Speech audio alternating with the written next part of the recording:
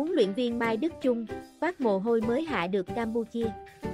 Huấn luyện viên Mai Đức Chung tôn trọng chủ nhà SEA Games 32, dù đại thắng 4, không ở bán kết tối ngày 12 tháng 5.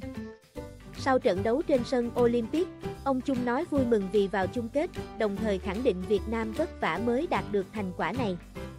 Chúng tôi thận trọng và tôn trọng Campuchia. Họ đã tiến bộ nhiều. Chúng tôi đã toát mồ hôi mới giành được chiến thắng, nhà cầm quân người Hà Nội cho hay. Việc các đội tuyển trong khu vực tiến bộ như vậy là điều đáng mừng. Sắp tới, chúng tôi gặp Myanmar. Từng cùng vòng bảng nên chúng tôi rất hiểu nhau. Sẽ rất khó khăn khi gặp nhau. Bóng đá nữ Campuchia mới thi đấu ở cấp đội tuyến quốc gia từ 2018.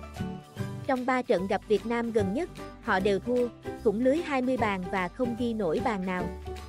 Cách biệt về trình độ nhanh chóng được Việt Nam thể hiện bằng việc dẫn 3 bàn ngay trong hiệp 1, dù tung vào sân đội hình không phải mạnh nhất. Sang hiệp 2, đội khách thi đấu cầm chừng và ghi bàn ấn định 4, không nhờ quả phạt đền của cầu thủ vào thay người Huỳnh Như. Vào chung kết, Việt Nam gặp Myanmar, đội bất ngờ thắng ngược Thái Lan 4-2 ở trận bán kết còn lại. Huấn luyện viên Chung cho biết ông đã liên tục theo dõi, nhận thông tin qua trợ lý để nắm tình hình trận đấu giữa Thái Lan và Myanmar. Myanmar tinh thần rất cao, ông nhận xét thêm. Hai đội biết nhau rồi thì năm ăn năm thua, ai may mắn thì thắng lợi. Tôi nghĩ trận hôm nay chúng tôi đảm bảo được yêu cầu. Vừa thắng vừa giữ được lực lượng. Các bạn hãy đăng ký kênh để cập nhật thông tin miễn phí mới nhất.